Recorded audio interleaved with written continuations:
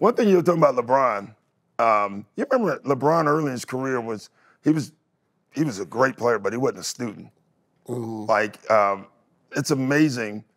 I think uh, when he got traded to Miami, we had an exhibition game, and LeBron started calling our sets. Plays. He started And- calling the sets Yeah. out like Rondo. Yeah, He yeah. coming off the whatever, Yeah. whatever. We're gonna switch this. And, And right when he did that, uh, I don't think it was Thibs. It might have been Thibs. no, it was um, Uh, I know Lawrence exa- Frank I or- remember this. I remember. I remember this Yeah, situation. whoever was our assistant coach, I turned around and said, We in trouble. "Oh boy, we in trouble." No, he was in doing. He was. They was emulating everything We was doing. We were Yeah. doing. Calling. You remember they had them big long ass uh, football plays, Yeah. 31, two Yeah. side twists. I was like, what the And when he started calling our sets it out, Tony Allen's coming over here. Here comes Paul. We gonna switch this one. I was right like, here. oh my gosh, He learning, he LeBron learning. Has become a student. checked out. And mm-hmm. now when you watch him now, Yeah. it's like he's playing chess. Everybody else is playing. It's Yeah. ridiculous now Yeah. watching him. Yeah. His brain has evolved to Yeah. where he's at. It's amazing. He didn't always have that.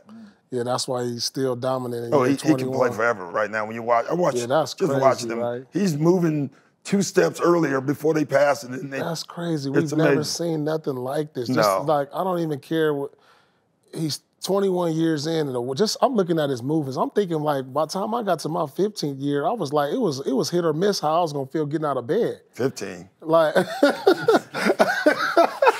That's like. it was hit or miss if my big toe was gonna work that day or my ankle or something was Give him gonna, credit. He puts it all. He works. And, I say, and, man. um, you know, Energy level is crazy. and I hate to go uh, debate. You know, I'm a Michael guy. We Uh, are- we all think- are, I think. But that doesn't mean anything bad about LeBron. No. LeBron's going to have the greatest career ever. right. It's no Yeah. doubt. He's going to have a GOAT career. Yeah. Uh, but as far as, for me, the single players, Mike, but it doesn't matter. That make LeBron bad. That- No. that- I don't know why. I feel like if you say one, that means you're putting down the other one. They're both amazing. Me, we used to be in the locker room, and you know the new younger guys. They Yeah. like, man, LeBron's the best player ever. Yeah. Like Doe, Doe would tell you, Doe would for sure tell you that, but they ain't see, you know what I'm saying, Black Mike, and it's always gonna be that from generation to generation. Even when you hear Kareem speak, or or when Bill Russell used to say Yeah. stuff, it's just like dad died let's- thinking Bill Russell. Exactly, it's gonna be like that always every was a generation. Bill Russell guy, you know.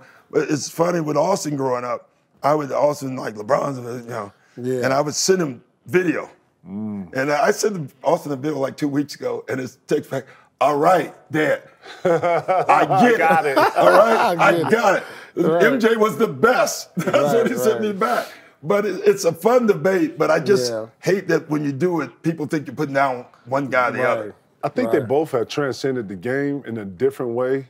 Obviously, we've never seen someone have 39,000 points, 66,000 minutes on the Minutes. goddamn floor. Yeah. We put time into this game. We know when I'm watching a 38 year old have more energy than 21s, 22 year olds, 29 year olds, he is arguably the most.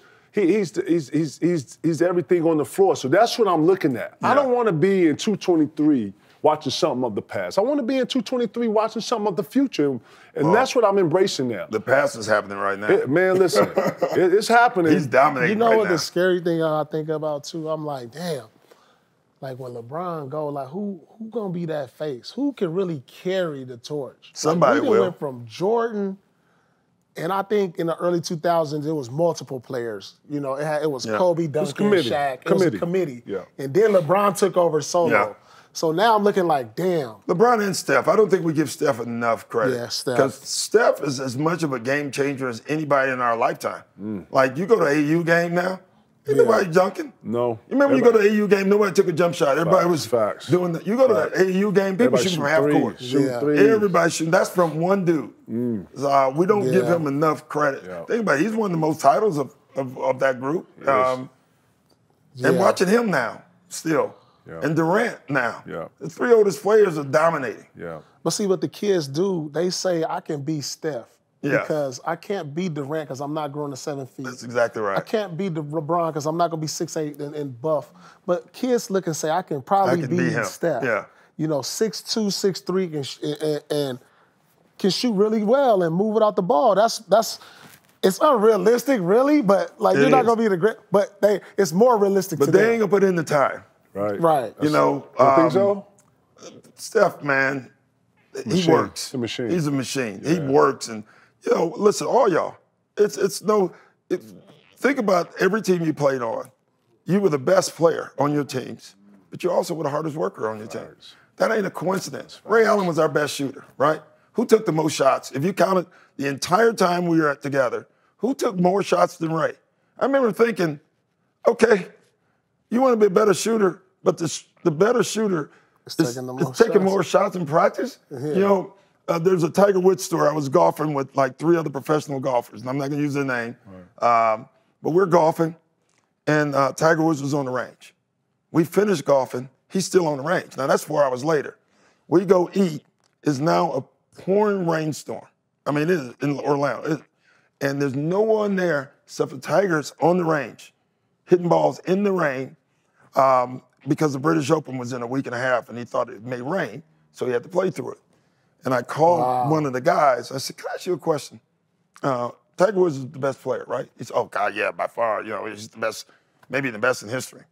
And I said, um, "You think he works out, outworks everybody on tour?" And he said, "Yeah, man. He he outworks all of us." I said, "Okay, now he's number one now.